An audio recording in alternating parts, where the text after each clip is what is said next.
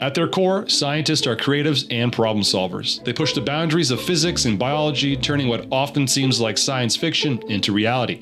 Dr. Oded Rechavi embodies this ideal. In a single career, he has demonstrated that memories can be inherited across generations and use DNA sequencing to reconstruct the 2,000 year old Dead Sea Scrolls.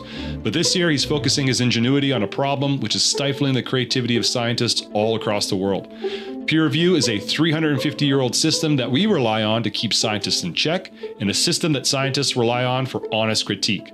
That system is broken. It's now a slow, biased bottleneck that can stall advancements for years. Oded's answer QED, an AI platform that analyzes papers in minutes, not months or even years. It breaks research into key claims, checks logic, and highlights missing controls. It strips away all prestige and all identity, offering a pure, unbiased critique. The scientific community is listening. Since October, over 5,000 labs have signed up, and a new partnership with bioRxiv allows for seamless integration from review to preprint. Today, Oded is here to tell us what science can look like when creativity finally breaks free. Join me in vivo with Dr. Oded Rechavi on fixing the broken system.